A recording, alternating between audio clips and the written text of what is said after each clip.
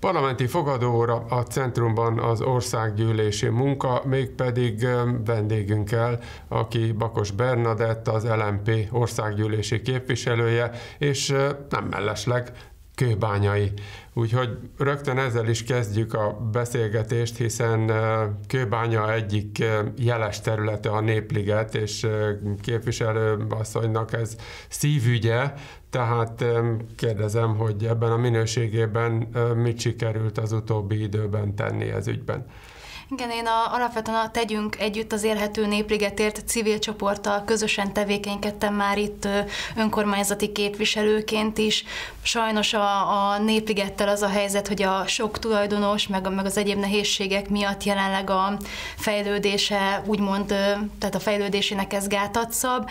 Azonban nekünk egy kiemelt fókuszunkban van az, hogy ide programokat szervezzünk, itt együttműködésben legyünk a különféle partnerek partnerekkel, például akár a közlekedési múzeummal, vagy a fővárossal, vagy a kőbányai önkormányzattal, és közösen próbáljuk meg előre mozdítani a Népligetnek az ügyét, hiszen egyrésztről sújtja a Népligetet a, a rossz híre, tehát hogy sokan nem tudják, hogy a Népliget az valójában egy gyönyörű szép közpark, egyébként Budapest legnagyobb közparkja, hanem a buszpályaudvar és környéken jut róla eszükbe, vagy éppen a bűnügyi hírek. Tehát ezt a képet próbáljuk egy picikét ledönteni, és különböző programokat is szervezünk a Népligetbe. A következő egyébként október 22-én szombaton lesz egy ilyen csillagászati témájú séta a Népligetben, és erre lehet csatlakozni, tehát október 22-én szombaton 14 órakor várunk szeretettel mindenkit de végül is akkor a csillagászat ilyen szempontból kap egy kis helyet, annak ellenére, hogy legnagyobb sajnálatomra a planetárium ugye továbbra sem működik. Igen, sajnos a planetárium újranyitását egyébként már kezdeményeztem valamilyen szinten, tehát a 2023-as költségvetéshez adtam be a parlamentben költségvetési módosítót, hogy erre biztosítsunk ott forrást, hogy meg lehessen csinálni a planetárium épületét, hiszen mind az épület, mind a berendezés elég rossz állapotban van jelenleg, ezért nem üzemel. Sajnos ezt leszavazta a többség, a kormányzó többség, de azért nem adjuk fel ezt. A planetáriumon kívül egyébként ilyen csillagászati témájú lapok is le vannak fektetve a, a Népligetbe, ez a kicsinyített mása a naprendszerünknek, úgyhogy ezt fogjuk majd felfedezni október 22-én. Amúgy, hogyha az ember például biciklivel keresztül hajt a Népligeten, akkor azért jól meg kell választani az utat, mert sokfelé a beton az nagyon feltöredezett, már igazán ráférne a felújítás, nem? Igen, és van is egyébként a fővárosnak stratégiai terve, amiben ez többek között szerepel, ehhez már valójában csak a forrás hiányzik, de ha a Népligetről beszélünk, akkor mindenképpen érdekes megemlítenem, van erről egy szakmai vita, hogy önmagában az, hogy ez a park egy picikét kihaltabb, elhanyagoltabb, elburjánzott a növényzet, ez valójában jó vagy rossz, hiszen akik madarakkal foglalkoznak, akik az állatvilággal foglalkoznak, élővilággal foglalkoznak, azok azt mondják, mondják, hogy egyébként milyen jó, hogy a városnak a szívében van egy ilyen terület, ami egy picikét visszavadult, ezáltal például a Magyarországon megtalálható 120 madárfajnak a háromnegyede megtalálható a Népligetben is. Például egy macskabagoly család is rendszeresen ott fészkel, rengeteg madarat, mókus lehet látni a Népligetben, tehát van ennek egy előnye is, hogy egy picikét kevésbé látogatott és kevésbé angol parkosan rendben tartott ez a park, de az is igaz, hogy így valóban az emberek számára kicsikét kevésbé felfedezhető és kevésbé átélhető ez a gyönyörűség a pohár félig tele van, vagy félig üres képlet erre is érvényes, igaz-e? Egyébként, amikor legutóbb itt járt a stúdióban, akkor még meglehetősen friss volt a képviselői esküje, azóta eltelt néhány hónap, hogy zajlik az élet? Továbbra is nagyon élvezem a parlamenti munkát, és nagyon jól érzem magam. Ugye több kezdeményezésem is volt az elmúlt időszakban. Az egyik egy komplex épületszigetelési és energiaszegénység elleni, annak a csökkentésére szolgáló javaslatcsomag volt. A másik pedig a klímabérlet, amivel talán már többen is találkoztak, hiszen kezdeményeztük, hogy legyen egy olyan közösségi közlekedési bérlet, ami az egész országban használható lenne, és havi 5000 forintba kerülne, ezt német mintára javasoltuk. Sajnos egyelőre még ez sem nyerte el mindenkinek a tetszését, de mi rajta vagyunk az ügyön, tehát petíciót is indítottunk ennek érdekében, és nagyon szeretnénk a továbbiakban is, hogyha ezt támogatni tudnák. Ez praktikusan hogy működne, illetve szintén praktikusan honnan lenne erre pénz? Alapvetően mi a központi költségvetés terhére szeretnénk ennek a megvalósítását. Nagyjából 100 milliárd forintba kerülne, tehát nem annyira megterhelő a költségvetés számára, hiszen azért ez, ez azon a szinten eltörpül ez az összeg, és egy három hónapos próbaidőszakra is vezetnénk be, hogy lássuk, hogy valóban mik a tapasztalatok, valóban sokan mobilisabbak lettek ennek hatására. Ez elsősorban egyébként Németországban azokat segítette, akik most a magas árak, az infláció infláció miatt nehéz helyzetben vannak, de segítette valamilyen szinten azt is, hogy akik minden nap autóznak, részben vagy teljes egészében ezt kiváltsák a közösségi közlekedéssel, legalább onnan, ahol már elérhető és kényelmes számukra, azért az 5000 forintos összeg mellett, már akár autó fenntartása mellett is megérheti ezt megvásárolni. Úgyhogy ez úgy néz neki, hogy az egész országban érvényes lenne a BKV-ra, a MÁV-ra, a volánra, mindenre, tehát nem kellene több érletet se venni. És akkor havonta? Havonta 5000 forintért cserébe. Mi a forgatókönyv, ha úgy tetszik, mi kell ahhoz, hogy ebből legyen valami?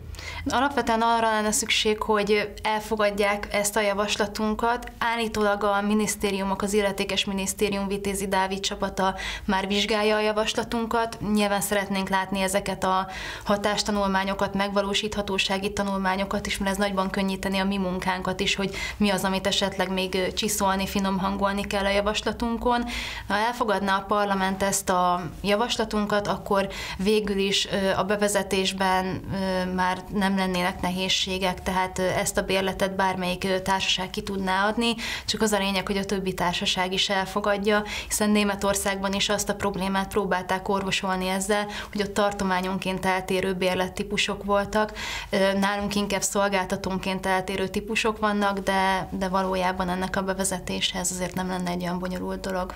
Visszakanyarodva az épület szigeteléshez, ugye többfelé az országban, több településen többféle megoldást, ha úgy tetszik, folyamatosan alkalmaznak, és itt Kőbányán is jó néhány házon lehet érzékelni, hogy már túl is vannak ezen a szakaszon, azonban nyilván sok szükség lenne még további lépésekre. Mi az, amit maga előtt lát ebből a szempontból?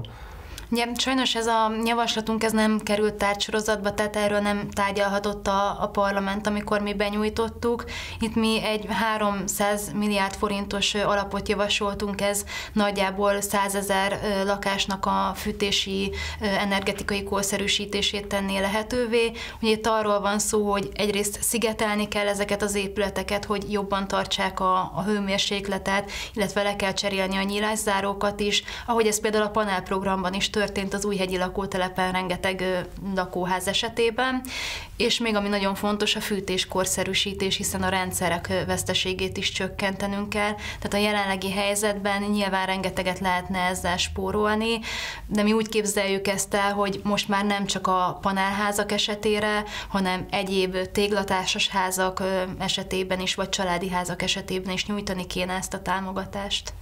Az LMP zöld pártként definiálja magát, és most ugye nyakik vagyunk az energiaválságban, tehát jó néhány olyan terület lehet, amelyhez hozzászólnak és kompetensként foglalnak állást. Konkrétan az energiaválság, illetve a most előttünk álló hónapok ügyében van-e javaslatuk? Természetesen van, hiszen bizonyos szempontból azt mondhatjuk, hogy 12 éve azt mondjuk, hogy előbb-utóbb be fog következni ez a helyzet, és bár nem kívántuk, de sajnos azt kell, hogy mondjuk, hogy 12 év után most már látszik, hogy igazunk van. Mi céltudatosan javaslatot tettünk e, arra, hogy hogyan lehetne enyhíteni ezt a, az energiaválságot. Ennek része egyébként ez a szigetelési, lakásfelújítási program is, része a klímabérlet bevezetése is, de emellett mi még azt is támogatnánk, hogy hogy a megújulók alkalmazására is nyújtson még támogatást, tehát lakossági támogatást a kormány, tehát akár napelem telepítésre, hőszivattyú berendezéseknek a beszerzésére, illetve hát van egy fájó pont Magyarországon jelenleg kvázi tiltott a szélenergiának a hasznosítása, olyan rendelet van élvényben, ami gyakorlatilag ellehetetleníti a szélerőműveknek a telepítését, és szeretnénk, hogyha ezt mi hamarabb feloldaná a kormány, hogy legalább magánberuházásban, persze a legjobb lenne állami beruházásban, de hogy készülhessenek ilyen ö, szélerőművek, és tudjuk használni a szélenergiát is itt Magyarországon. A tiltásnak ismerik a szakmai indokait? Itt ö, alapvetően már a múlt héten is szóba került, hogy a kormányon belül is van erről egy szakmai vita, hogy milyen hatással van az élővilágra, vagy éppen a környező lakosságra. Ugye, a, ami a tiltást eredményezi, az végül is az, hogy nem lehet szélerőművet telepíteni lakott környéken, lakott környék mellé, 12 kilométeres körzetben de ezt azért túlzónak érezzük, hiszen nemzetközi példák vannak arra, hogy ennél sokkal-sokkal, akár 5-6 kilométerrel közelebb is telepítettek szélerőműveket, és nem okozott ez zajterhelést és egyéb problémákat a lakosság számára, úgyhogy alapvetően mi továbbra is azt mondjuk, hogy érdemes lenne megfontolni.